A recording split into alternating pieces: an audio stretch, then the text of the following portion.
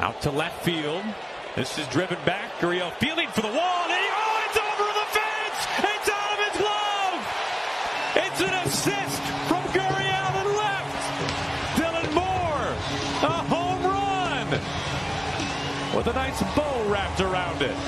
His fifth.